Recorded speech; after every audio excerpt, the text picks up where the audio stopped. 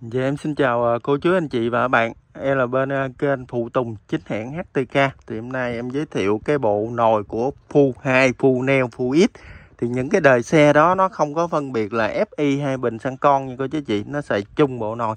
Thì à, cái bộ nồi của mình là tương đối cũng ok rồi, đầy đủ rồi. Đây là những cái bộ nồi chính hãng FCC cung cấp vô hãng Honda. Thì cô chú chị mua được cái giá thành nó ok mà nó chất lượng tốt nhất bây giờ nha cô chú anh chị.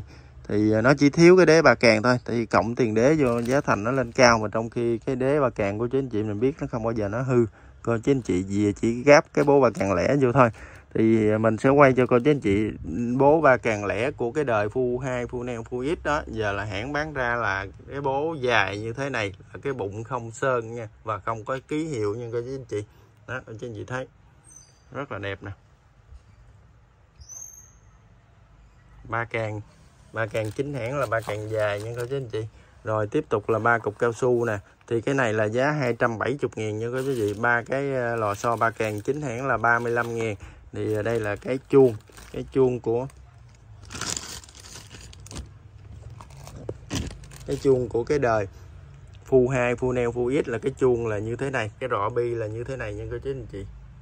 Đây nè và cái tầng răng nó phải có hai cái bát trên và bát dưới. Còn hàng mà hàng không ờ, chính hãng là nó có chỉ có bát dưới thôi. Cái này có chỉ để ý. Khi kéo trùng ở đây nè. Áp kéo trùng.